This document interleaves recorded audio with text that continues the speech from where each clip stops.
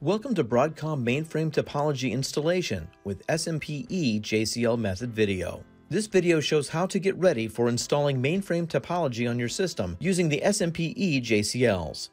In this video, you will learn what are the prerequisites for the installation and how to prepare the data that you will need throughout the installation process.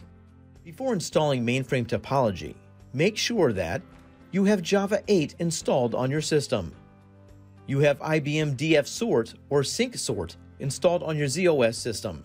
You have a ZFS file system with at least 500 megabytes of free disk space available. You have an available TCP IP port to be assigned for the mainframe topology API server. This is a prerequisite to ensure that the server is accessible from a workstation. And you have designated the user ID that will run the mainframe topology API server STC. This user ID needs access to the USS. If all the prerequisites are met, you can start gathering the data that you will need during the installation process. For this purpose, you can find an installation worksheet in the online documentation of topology. Access the technical documentation and navigate to the installation worksheet.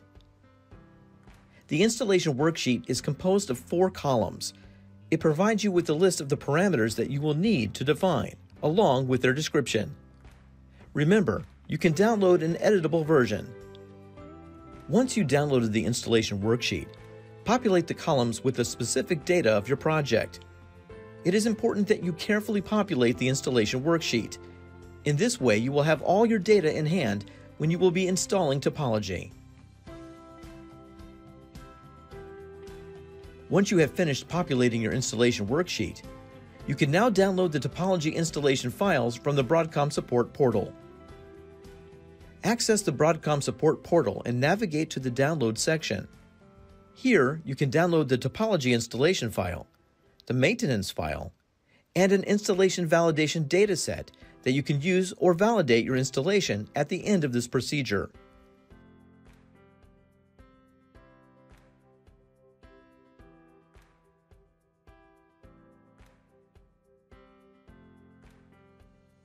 If you already have SMF data that you want to use for validating the installation, do not download the installation validation data.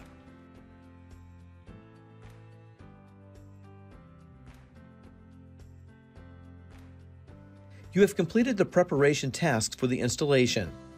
You are now ready to install mainframe topology on your system. For more information about the procedure and product, please refer to the Mainframe Topology Online documentation and Broadcom Tech Docs. Thank you for watching.